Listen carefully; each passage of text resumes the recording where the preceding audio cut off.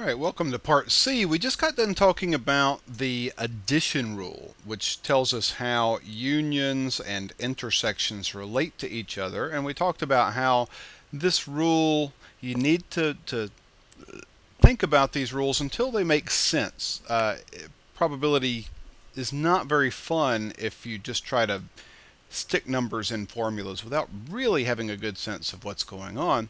But we said to get the probability that somebody is either A or B, one thing or another, take all the people that are A, add to it all the people that are B, but then you have to subtract off the people that are both. Otherwise, you're going to double count them.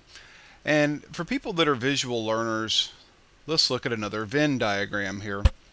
We're supposed the probability of A is 0.3, so everybody in A is in the pink circle. Everybody that's B, the probability of B is 0.4 in the yellow circle.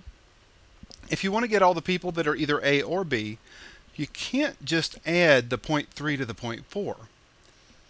What we want for the union is everybody that's either in the yellow circle or in the pink circle or in both. And here are 0.1, 10% of people that are in both.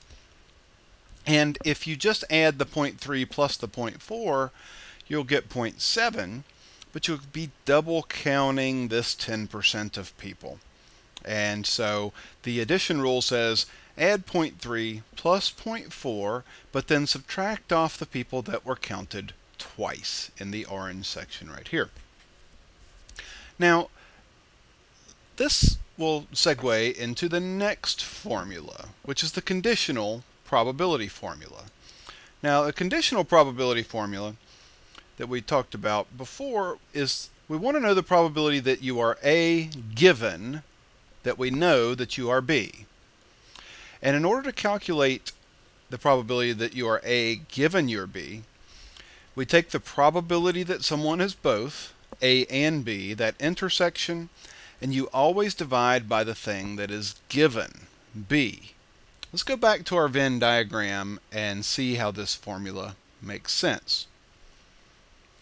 To calculate the probability that someone is A, given we know for sure that they are B in the yellow circle, the formula is to take the intersection of the two, the point 1, and divide it by the probability that someone is B, 0.4.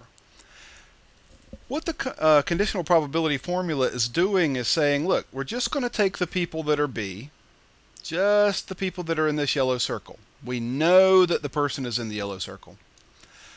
Now that we know that, what is the chance that this person is also A?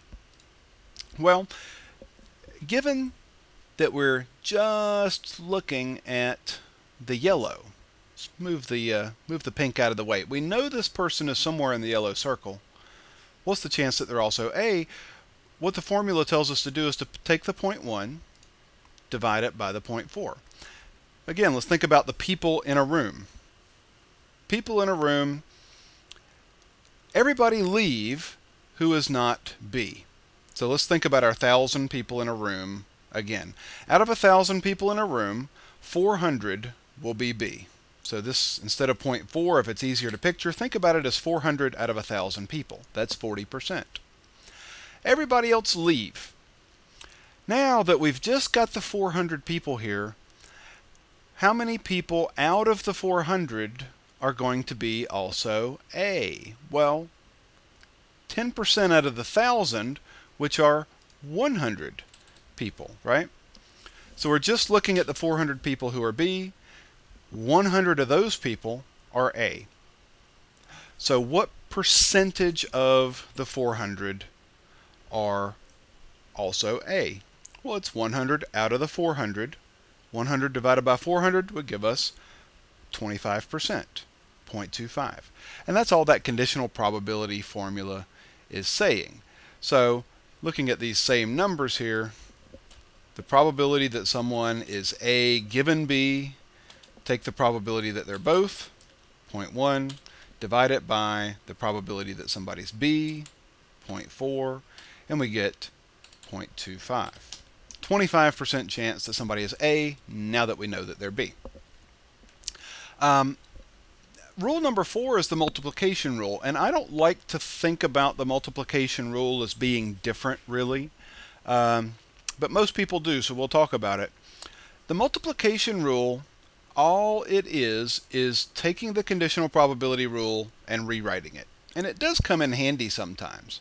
Look up here at the conditional probability rule. It says the probability of A given B equals the probability of A and B divided by the probability of B. In order to get the multiplication rule, all we do is multiply both sides by the probability of B. And so we get the probability of A given B times the probability of B on one side and the probability of A and B on the other side.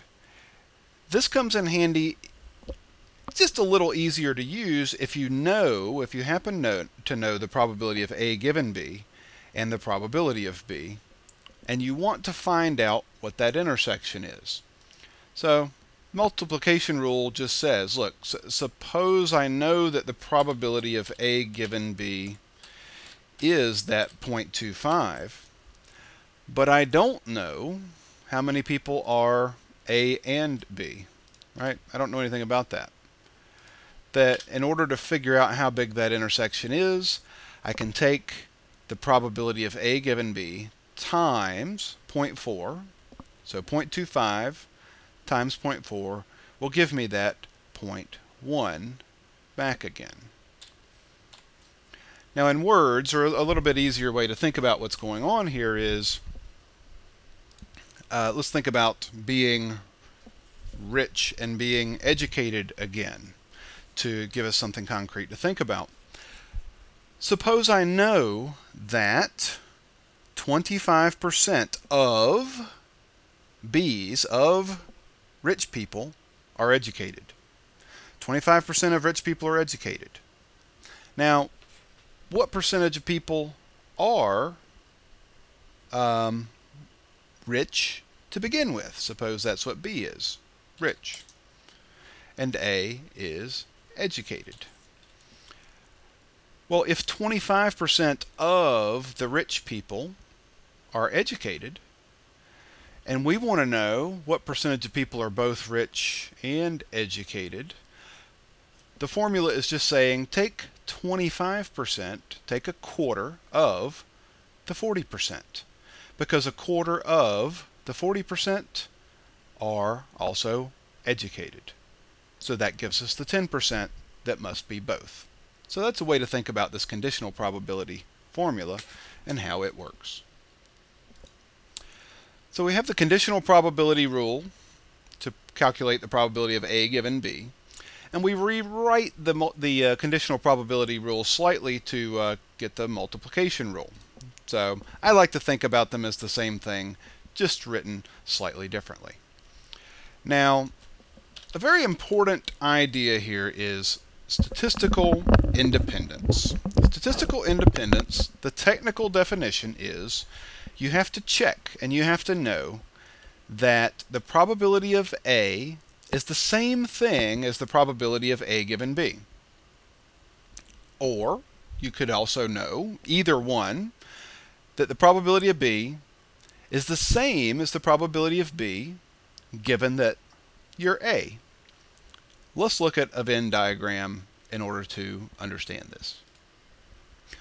Okay, statistical independence, using a, an example that you can hopefully picture. In a, a standard deck of cards, there are 52 cards, and 25% of them are hearts, 25% are spades, 25% are clubs, and 25% are diamonds.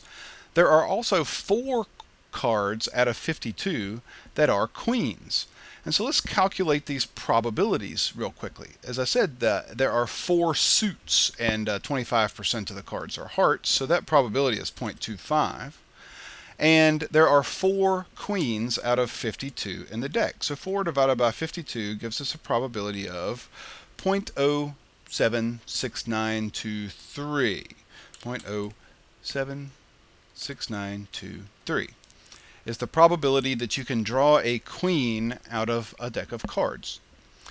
Now, let's check to see if being a heart is independent of, statistically independent. Sometimes people modify this word. Statistically independent of um, the idea that a card is a queen. And they are independent if the probability of one of the things, say hearts is A, is the same as the probability of drawing a heart given it's a queen. Right? So let's check to see if that's true. Now, if, now I always have to, to implore people, don't guess that these things are equal. Don't guess whether something's independent or not. Always calculate. Always do it. You're always, uh, you think you can guess whether something's independent or not. But you always want to actually do the calculations. So let's replace A here with the probability that it's a heart. And let's see if that is the same that a card is a heart given it's a queen. Once we know for sure that we're just looking at the queens, now what's the chance that it's a heart? Well, we know that the probability that a card is a heart is 0.25. Let's look at this other uh, probability over here. Now we can do this in our head by picturing the cards. And let's also do it the formal way. But let's picture the cards. Suppose I told you that I only have the queens. I only have the queens. Given that I'm only looking at the queens, what is the probability that you could draw a heart out of those queens? Now there are four queens. One is a heart, one is a diamond, one is a spade, and one is a club. So if I had four cards in front of you and said, draw one of these queens, what's the probability that you get a heart? Well, it's 1 out of 4, which is the same 0.25. Now let's calculate this using the conditional probability formula just to make sure that we know what we're doing. The conditional probability formula, remember, says um, to calculate the probability of a heart given, uh, it's a queen, is equal to the intersection, the probability that a card is both a heart and a queen. I'm not going to use that uh, intersection symbol just because it's hard to, to type in this program, and divide it by the probability that a card is a queen. So what's the probability that a card out of a deck of cards is both a heart and a queen? Well, that is 1 out of 52. So 1 divided by 52, because there's only one card that's a heart and a queen. That's the queen of hearts. And so that probability is 0.0192307. Divide that by the probability that a card is a queen. Well, we've got that probability up here, 0.076923. 0.076923. Now, pause the video and do that calculation. Okay, if you pause the video and you divided those two numbers, you will find that the answer is exactly 0.25. And because the probability of drawing a heart, given that it's a queen, is the same as this 0.25 probability that you draw a heart not knowing it's a queen, we say that being a heart and being a queen are statistically independent. Now, what does this mean, really? What statistical independence tells us is that once you know that a card is a queen, it will not change the probability that it's a heart. And this goes the other way as well. Once you know that those two things are independent, you can flip the H and the Q and replace the Q here. It tells you that the probability of drawing a queen does not change either once you know that the card is a heart. Play this game with a deck of cards and convince yourself. And we're going to see some other examples of statistical independence as we go along. It's complicated, but we'll come back for another part in a minute.